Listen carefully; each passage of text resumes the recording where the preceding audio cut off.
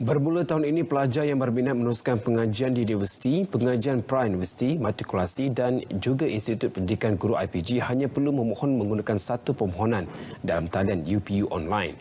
Selain itu, borang permohonan juga ditambah baik dengan hanya membaparkan tawaran pilihan program mengikut kelaikan akademik calon.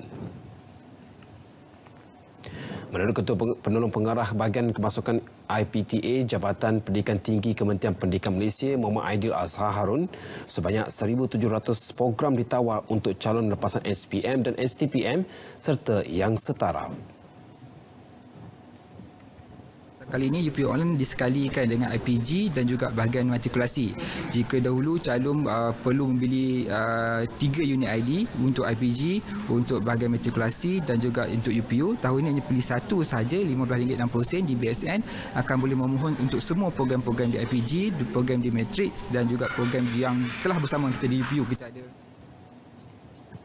Dengan penjelasan seumpamanya, peluang pelajar untuk memilih program pengajian yang diminati adalah lebih luas dan lebih mudah. Permohonan UPU online mula dibuka untuk semua calon pada 25 Februari ini.